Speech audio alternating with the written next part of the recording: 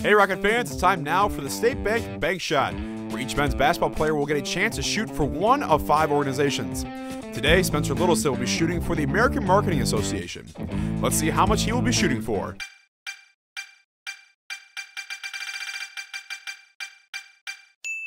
All right, today State Bank will donate $30 for each of Littleson's made shots. Let's get 20 seconds on the clock and see how many bank shots he can get.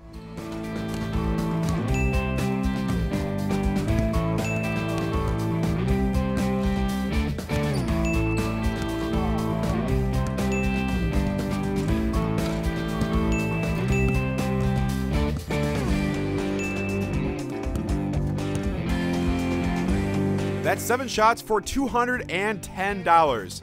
State Bank will double it if he can make this half court shot. Ooh, just off the back iron. But State Bank will still donate $210 to the American Marketing Association. Thank you, State Bank, for your continued support of Rocket Athletics.